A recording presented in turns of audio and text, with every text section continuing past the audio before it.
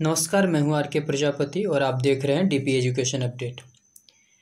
जैसा कि आप पढ़ रहे थे लुसेंट से हमने स्टार्ट किया है प्राचीन भारत का इतिहास। ठीक है? हमने कहाँ से स्टार्ट किया है? लुसेंट से, जो किसी भी किसी भी परीक्षाओं के लिए बहुत ही महत्वपूर्ण हो जाती है।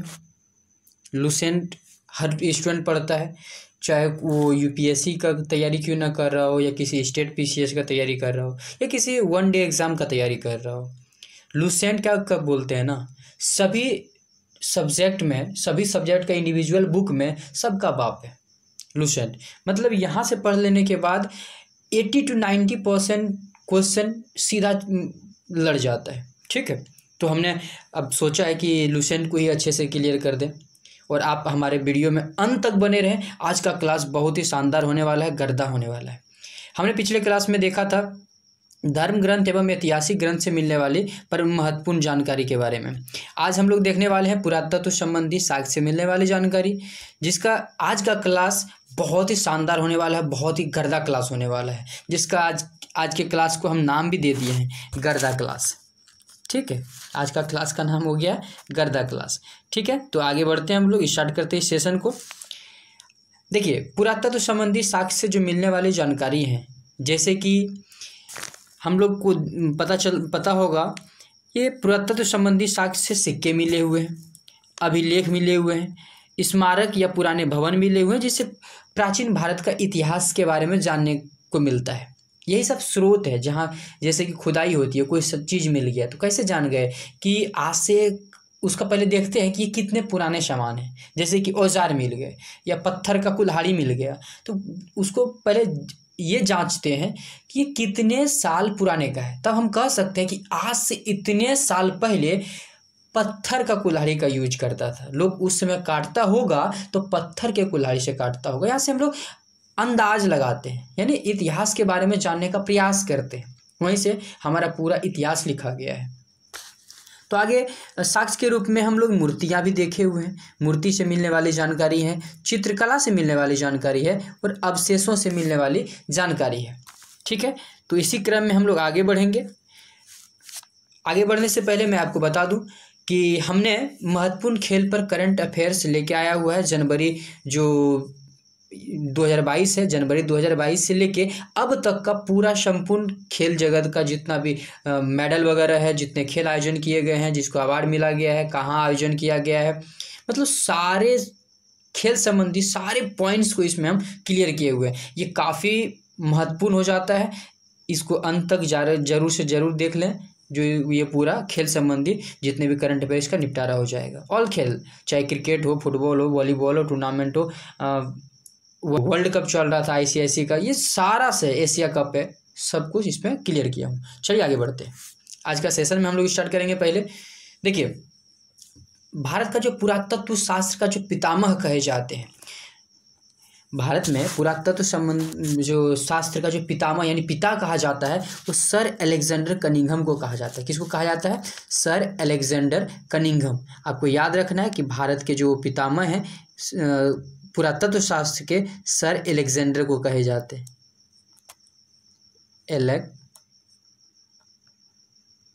जेंडर सर एलेक्जेंडर को कहे जाते हैं, ठीक है? आज से हम लोग देखेंगे करीब चौदह सौ ईसा पूर्व। उस समय जो एक एशिया माइनर एक जो स्थान है, ठीक है? वहाँ एक बोगाज कोई अभिलेख लिखा गया है। अभिलेख का नाम क्या है? बोगाज कोई। बोगाज कोई।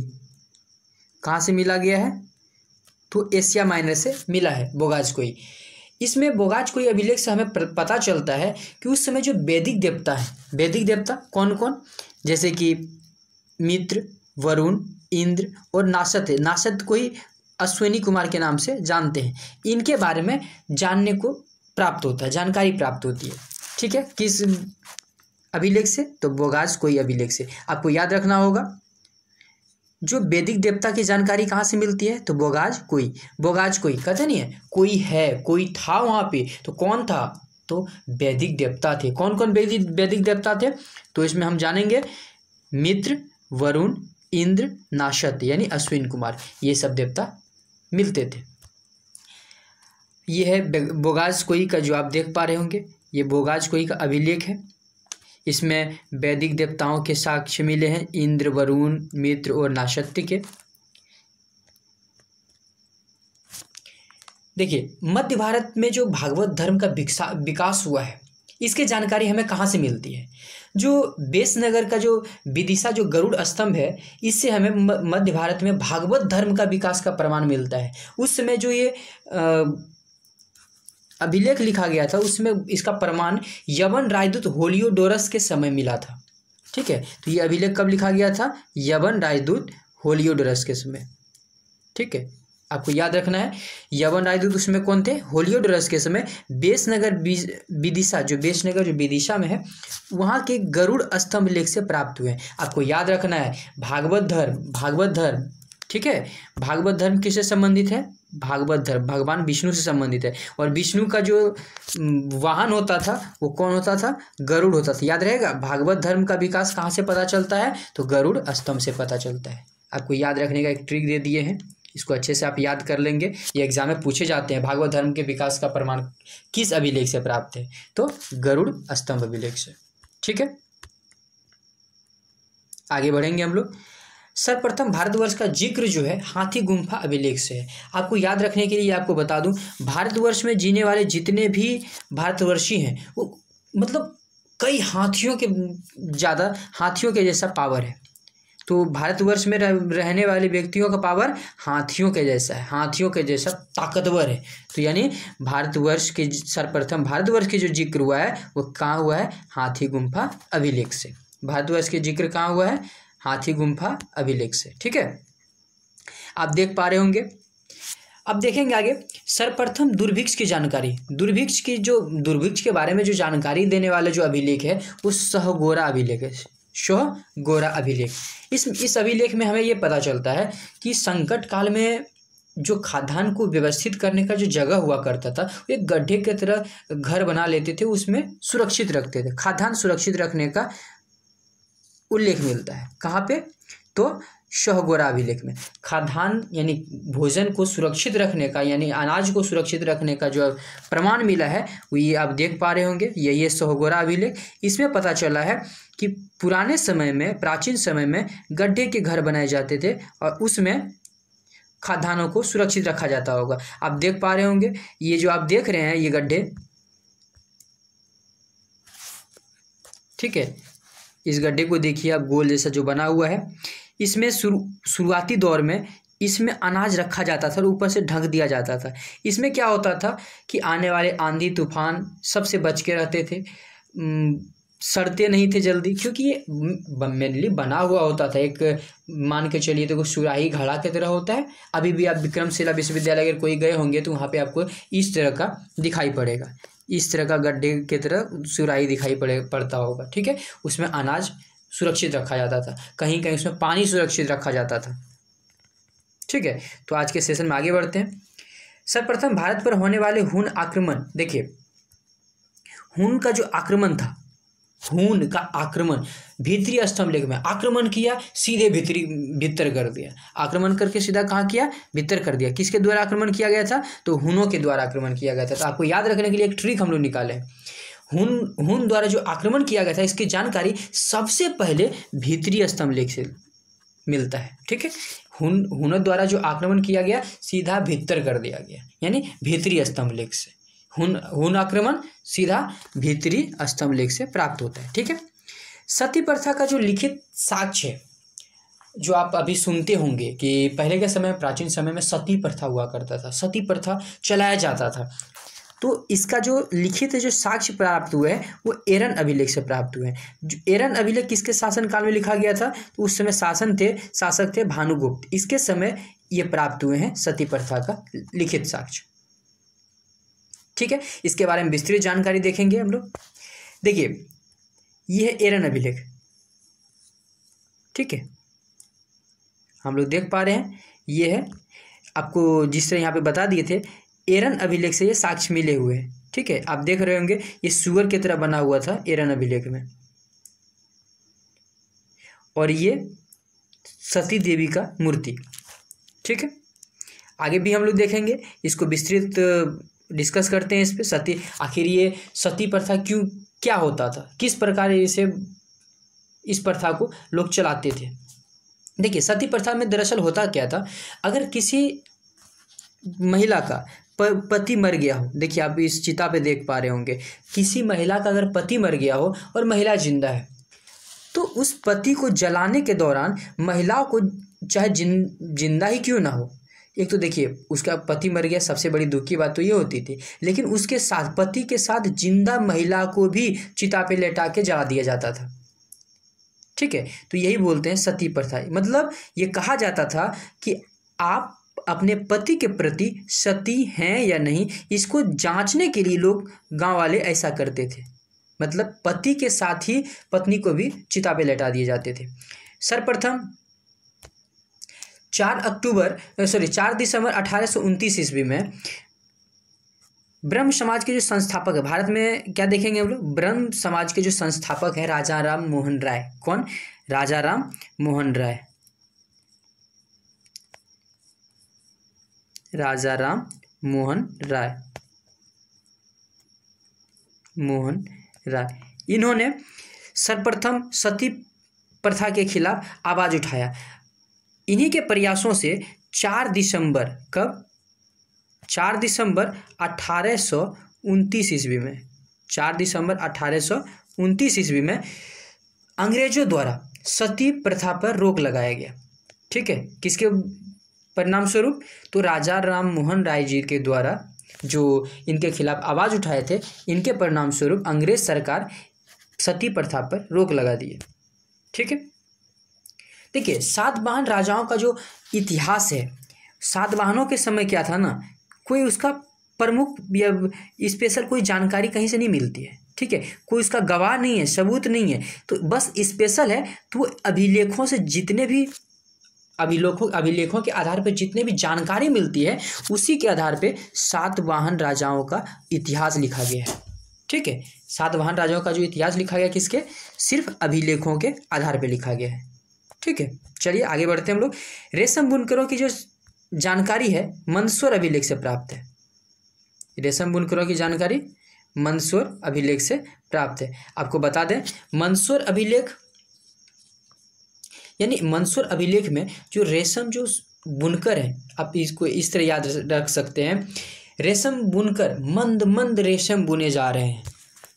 रेशम बुनकर मंद मंद मंद शोर, यानी मंद मंद रेशम बुने जा रहे हैं। यानी रेशम बुनकरों की जानकारी कहाँ से मिलती है? तो मंदसौर अभिलेख से जानकारी मिलती है। रेशम बुनकरों की जानकारी मंदसौर अभिलेख से पता चलता है। देखिए, कश्मीरी नवपाषाणी पुरास्थल जो कश्मीर से जो नवपाषाण, ये देखिए पाषाण काल दो भाग में बांट दिया। नव पाषाण और पूरा पाषाण। यानी पहले जो हुआ उसे पूरा पाषाण बोलते हैं, बाद में हुआ उसे नव पाषाण बोलते हैं। नया नया यानी नव पाषाण। नव पाषाण में जो गर्तावास गड्ढे के घर जो बनाए जाते थे, रहने के लिए, उसके साक्ष्य मिले हैं। कहाँ से मिले हैं? तो कश्मीर के नवपाषाणी पूरा स्थान, पूरा स्थल जो है बुर्ज होम यहाँ से पता चले हैं क्या? गर्तावास, यानी गर्तावास किसको बोलते हैं? गड्ढे के घर। अब किस प्रकार है? हम आगे इसको हम दिखाने का प्रयास करेंगे। गड्ढे का घर है ये। और इसमें उतरने के लिए सीढ़ियाँ भी होती थी। देखिए गार्थावास यानी गड्ढे के घर में उतरने के लिए सीढ़ियाँ भी हुआ करती थी। जिस प्रकार आप यहाँ पे देख पा रहे होंगे, इस फिगर में ये गड्ढे का घर बना दिया गया है और इसमें नीचे उतरने के लिए सीढ़ी भी बनाया जाता था। ये बहुत ही सुरक्षित माना जाता था उस समय के लिए। प्राचीन सिक्कों को आहत सिक्के कहे जाते थे। आप जीके में याद किए होंगे, प्राचीन सिक्के को क्या कहे जाते हैं? आहत। ये है प्राचीन सिक्के। इसे हम लोग पहले या अभी भी आहत सिक्के बोलते हैं। क्या बोलते हैं प्राचीन सिक्के को? क्या बोलते हैं? आहत सिक्के बोलते हैं। इसी को साहित्य में, देखिए, साहित्य में अगर बात करें तो इसको काशार्पण कहा गया है। ठीक है? और सबसे पहले जो, ये जो कासार, सिक्के पे जो लेख लिखा गया है, ये किसके समय लिखा गया है? तो सर्वप्रथम सिक्के पर लेख लिखने का जो कार्य था, वो यवन शासकों द्वारा करवाया गया था। ठीक है? तो किस प्रकार ये लेख लिखवाए गए थे? आपने देखा होगा, ये जो इस पर लेख लिखवाए गए हैं, ठीक है? ये जो आप लेख लिखवाते हुए देख, देखे हैं, ये सबसे पहले किसके द्वारा करवाया गया? यवन शासकों के द्वारा करवाया गया। ठीक है? समुद्रगुप्त की जो बिना बजाती हुई मुद्रा वाले सिक्के हैं, उससे समुद्रगुप्त के प्रेम, संगीत प्रेमी होने का प्रमाण मिलता है। एक सिक्के पे आप देखेंगे कि समुद्रगुप्त बिना बजा रहे हैं। उससे ये स्पष्ट हो जाता है कि समुद्रगुप्त जो शासक थे, वो बहुत ही संगीत प्रेमी हुआ करते थे। ये जो आप फिगर में देख पा रहे होंगे, समुद्रगुप्त देखिए, ये बीना बजा रही ये है बीना। ठीक है? बीना बजा रहे हैं समुद्रगुप्त। इससे ये पता चलता है कि समुद्रगुप्त संगीत प्रेमी थे। ठीक है? तो इस प्रकार आगे हम बढ़ेंगे। अरिक मेडू कहाँ पे है? पुडुचेरी के पास है। अरिक मेडू से रोमन सिक्के प्राप्त हुए, जो आप रोमन सिक्के आप जान रहे होंगे, जो पढ़े होंगे। रोमन सिक्के नहीं पढ़े तो मैं बता रहा हूँ। रोमन सिक्के जो है, सबसे पहले देखिए, अरिक मेडू से प्राप्त हुए हैं। आप ये जो रेड कलर में देख रहे होंगे, वो अरिक मेडू है। क्या है? अरिक मेडू। ठीक है, ये वाला क्या है? अरिक मेडू है। यहाँ से रोमन सिक्के प्राप्त हुए। अरिक मेडू का आप नीचे देख पा रहे होंगे। कराकती उससे नीचे आ, आ, देख पा रहे होंगे कावेरी पट्टनम है ठीक है? कावेरी पट्टनम। चलिए हम लोग आगे बढ़ते हैं। अब एक चीज़ आपको बता दें सबसे पहले जो भारत का जो संबंध रहा था यानी व्यापारिक संबंध कहें राजनीतिक संबंध कहें तो ये सबसे पहले जो संबंध रहा था ये किन किन देशों से रहा था? तो देखते हैं भारत का संबंध सबसे पहले बर्मा से। पूर्व पूर्व में बर्मा है भारत के पूर्व में किधर है? क्या है? बर्मा है, ठीक है? जिसे हम लोग वर्तमान में म्यांमार के नाम से जानते हैं, ठीक है? इनके साथ संबंध था, व्यापारिक संबंध। मलाया, जिसे हम स्वर्णद्वीप कहते थे। कहते थे पहले, ठीक है? मलाया को क्या बोलते थे? स्वर्णद्वीप बोलते थे। कम्बोडिया को क्या बोलते थे? कम्बोज बोलते थे। और जावा को यवद्वीप के नाम से जानते थे। इन सबों के साथ व्यापारिक संबंध थे, किनका? भारत का। तो आपने देखा भारत का संबंध किस किन किन देशों के साथ था। और एक चीज़ और बता दूँ अभिलेखों को जो देखिए आप फ़ोटो खींच खींचते होंगे ठीक है आप फ़ोटो खींचते होंगे तो फ़ोटो का जो अध्ययन होता है उसको फोटोग्राफी बोलते हैं ठीक है। हर किसी चीज़ का जो अध्ययन होता है उसे ग्र, ग्राफी से नाम जोड़ जोड़ के जानते हैं ठीक है। फोटोग्राफी अब देखिए मधुमक्खी पालन है आप जान रहे होंगे, मधुमक्खी पालन अगर आप पढ़े होंगे कभी तो आप जानते होंगे, मधुमक्खी पालन को क्या बोलते थे?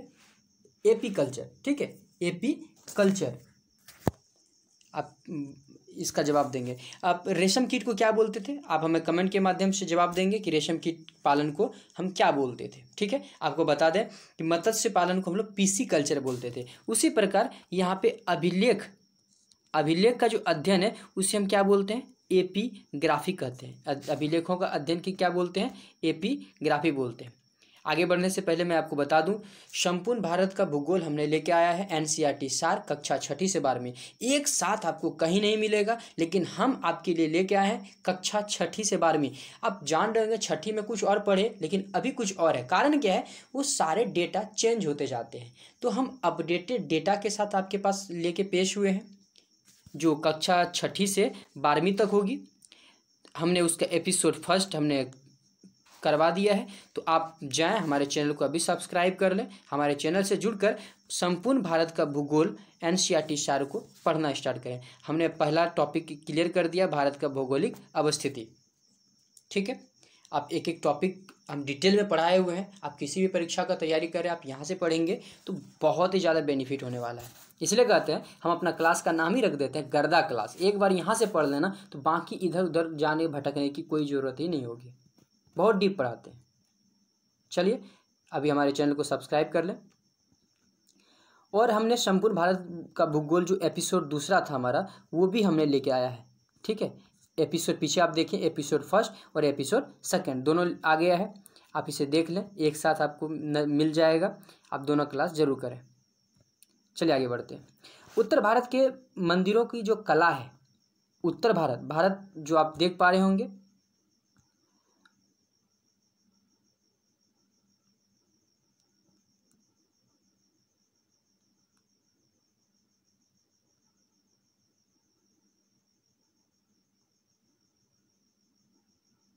देखिए, इसको अगर यहाँ से बांट दें, ठीक है? तो आप देख पा रहे होंगे कि इधर हम लोग क्या बोलेंगे? इसको उत्तर भारत बोलेंगे? नॉर्थ इंडिया इसको बोलेंगे साउथ इंडिया यानी दक्षिण भारत। आ, ये है बीच वाला भाग। ये वाला आप देख पा रहे होंगे, ये बीच वाला भाग है। तो उत्तर भारत में जितने भी मंदिर बनते थे, मंदिर की जो शैली होती, मंदिर बनाने का जो कला होता था, यानी मंदिर का जो डिज़ाइन होता था, उसको हम लोग क्या बोलते थे? तो नागर शैली बोलते थे। मंदिर बनाने का जो डिज़ाइन था उत्तर भारत में, उसको हम नागर शैली जानते थे, नागर शैली के नाम से जानते थे। और दक्षिण भारत में जो मंदिर बनाने का जो शैली था, और यहाँ पे यहाँ पे इधर जो मंदिर बनाने का जो शैली था, उसे हम द्रविड़ शैली के नाम से जानते हैं। कौन सा शैली? द्रविड़ शैली। उत्तर भारत में, इधर हम बात करें, उत्तर भारत में बात करें तो नागर शैली, और दक्षिण भारत में बात करें तो द्रविड़ शैली। चलिए हम देखते हैं नागर शैली होता कैसे ये जो आप मंदिर देख पा रहे होंगे, ये जो मंदिर का डिज़ाइन देख पा रहे होंगे, ये नागर शैली है। इसे क्या बोलते हैं? नागर शैली। ये है नागर शैली, ठीक है? ये सब ये जो मंदिर का डिज़ाइन है, आप देख पा रहे होंगे, ये नागर शैली का है और आगे हम लोग देखेंगे, इसे बोलते हैं द्रविड़ शैली। जो श्री रंगनाथ जो स्वामी का मंदिर है, ये द्रविड़ शैली में होता है, ठीक है? द्रविड़ शैली में थे। यानी एक पे एक ऐसे ऐसे करके, ऐसे बनाते थे द्रविड़ शैली में। यही डिज़ाइन आप देख पा रहे होंगे। ये द्रविड़ शैली का पहचान है, ठीक है? ये ऊपर भी क्या होता है? एक गुंबद नमा नहीं होता है चौड़ा होता था, जो आप यहाँ देख पा रहे होंगे, ठीक है? ये, हम लोग जो इधर उत्तर भारत में मंदिर देखते हैं, इस तरह आकार होता है। ऊपर में क्या होता है? ये गुंबद नुमा होता है, लेकिन इसमें ऊपर गुंबद नुमा नहीं होता है। नीचे से जाता है, लेकिन ऊपर में चौड़ा होता है, ठीक है? इसको क्या बोलते हैं? द्रविड़ शैली बोलते हैं। उत्तर भारत में, नागर शैली और दक्षिण भारत में, द्रविड़ शैली चलिए आगे बढ़ेंगे हम लोग। दक्षिणापथ के मंदिर का जो निर्माण था, वो नागर शैली और द्रविड़ शैली दक्षिणापथ कहें तो जिसमें कि दक्षिण भारत और, देखिए, उत्तर भारत और दक्षिण भारत दोनों आ जाते हैं। आपने देखा होगा जिसकी ये भारत बना रहे। ठीक है? आपको हम यहाँ से बांट दिए थे। तो नीचे के भाग को, हम नीचे के भाग को क्या बोलते थे?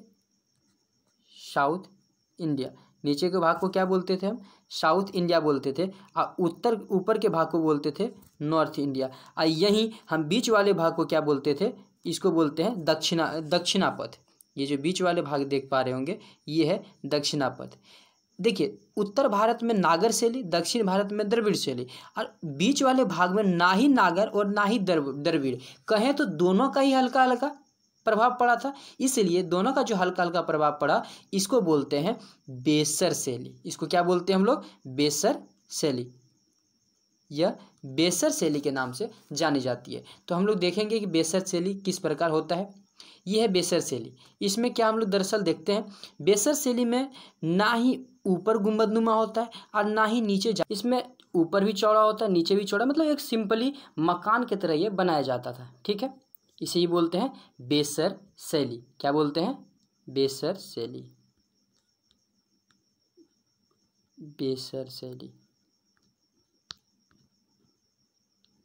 ठीक है, चलिए आगे बढ़ेंगे हम लोग।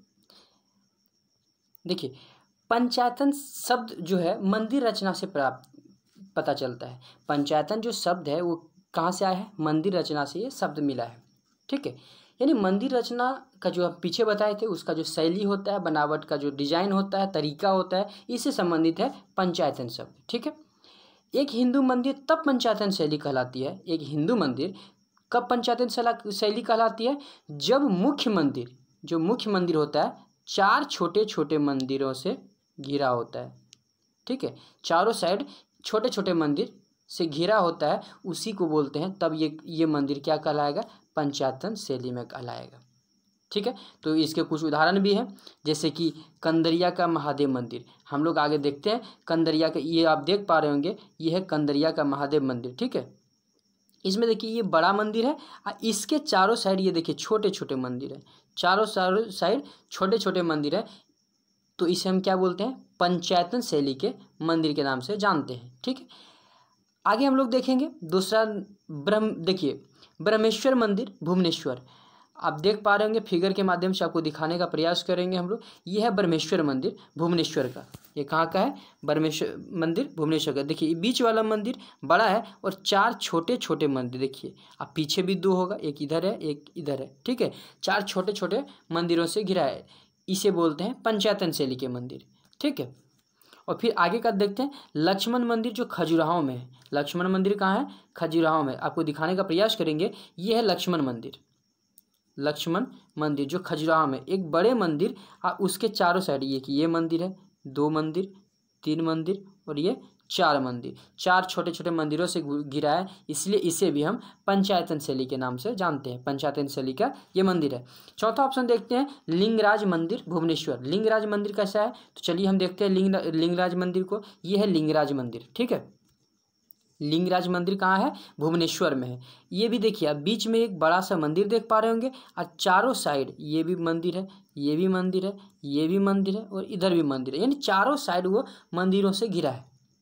ठीक है तो इसे हम पंचायतन शैली के नाम से जानते हैं। ये भी एक पंचायतन शैली का मंदिर है। पांचवा ऑप्शन देखते हैं, दशावतार मंदिर देवगढ़, उत्तर प्रदेश। उत्तर प्रदेश में जो देवगढ़ मंदिर है, ये दशावतार का, ये भी पंचायतन शैली में है। ये है दशावतार मंदिर। आप देख पा रहे होंगे, ये देखने में तो बहुत सिंपल है, लेकिन ये भी पंचायतन शैली में है। कारण है कि ये जो देवगढ़ मंदिर है, बाकी इधर देखिए छोटे छोटे मंदिर छोटे छोटे छोटा छोटा बहुत ही छोटा छोटा इसमें। उस साइड भी है तो छोटे छोटे मंदिरों से घिरा है, इसलिए बोलते हैं इसे पंचायतन शैली के नाम से। ठीक है? और ये आप पाँच, छठा ऑप्शन देख पा रहे होंगे, डोंगेश्वर मंदिर, महाराष्ट्र। सॉरी गोंडेश्वर मंदिर, महाराष्ट्र। महाराष्ट्र में जो गोंडेश्वर मंदिर देख देख रहे होंगे आप, ये है गोंडेश्वर मंदिर, ठीक है? ये बड़ा मंदिर के चारों साइड, देखिए, है ना? चारों साइड, उस साइड पीछे वाला नहीं दिख रहा है, शायद ये वाला है। ये बड़ा वाला मंदिर के पीछे साइड ये वाला है, ठीक है? ये चार मंदिरों से घिरा है। जो चार मंदिर आप देख पा रहे हैं दोबारा हम उसको कर देते हैं। ये हो गया दो, तीन, चार। चार मंदिर से मुख्य मंदिर घिरा हुआ है। इसलिए इसे भी हम पंचायतन शैली से हम जानते हैं। ये भी पंचायतन शैली में बना हुआ है। कौन सा? गोंडेश्वर मंदिर, महाराष्ट्र। चलिए, यहाँ तक आपको हर चीज़ समझ में आ गया होगा तो आपसे एक रिक्वेस्ट है। आज ही आप हमारे सेशन से जुड़ें, बिल्कुल फ्री अभी के लिए बिल्कुल फ्री है। तो आप हमारे सेशन को, से जुड़ने के लिए तुरंत सब्सक्राइब करें और फ्री में अभी जुड़ सकते हैं। देखिए, हमारा चैनल यूट्यूब पे भी अवेलेबल है फेसबुक पे भी अवेलेबल है इंस्टा पे भी अवेलेबल है और ट्विटर पे भी अवेलेबल है डीपी एजुकेशन अपडेट के नाम से। ठीक है? डीपी एजुकेशन अपडेट का मुख्य मुख्य जो बातें हैं, वो आप, हमेशा आपको अपडेट रखने की बातें कहती हैं। ठीक है? मेन मोटो क्या डीपी एजुकेशन अपडेट का? डीपी एजुकेशन अपडेट आपको रखे, हमेशा अपडेट यानी आप किसी भी टॉपिक को हमारे चैनल से पढ़ते हैं तो आपको हमेशा अपडेटेड वीडियो मिलेंगे। मतलब टॉपिक पुराने होंगे या नए होंगे, फ़र्क वो नहीं है। डेटा नया होता है हमेशा। अब देखिए, हर बार खेल से संबंधित प्रश्न पूछे जाते हैं परीक्षाओं में। क्या वही वही डेटा पूछा जाता है, जो 2005 में पूछा गया था, या 2015 में पूछा गया था, या जो 2020 में पूछा गया था। नहीं, जो अभी वर्तमान में चल रहे हैं, जो एकदम लेटेस्ट डेटा है, उसके आधार पर। और ख़ासकर परीक्षाओं में गलती स्टूडेंट तब करते हैं ना, जब छोटे छोटे चीज़ कुछ दिन पहले चेंज हो गए और उस पर ध्यान नहीं दिए, वो एग्ज़ाम में पूछ लिए जाते हैं। तो पता चलता है कि हमने तो कुछ और याद किया था और अभी कुछ और हो और हो गया। घर में आके जब मिलाते हैं तो पता चला बहुत बड़ा गलती करके आ गए इसलिए ये सब गलती आप लोग ना करें। इसके लिए हमारे चैनल को अभी सब्सक्राइब करें और हमारे अपडेटेड वीडियो से जुड़ें। ठीक है? हम सब्जेक्ट वाइज भी क्लास देते हैं। जैसे कि अभी ज्योग्राफी का चल रहा है। तो ज्योग्राफी के क्लास में हम अपडेटेड जितना डेटा है, डेटा ऑल्ड हो जाता है। ज्योग्राफी में क्या होता है? डेटा ओल्ड हो जाता है। लेकिन हम अभी जो देख, लेके आए हुए हैं, वो सब न्यू डेटा है। ठीक है? एकदम लेटेस्ट डेटा न्यू डेटा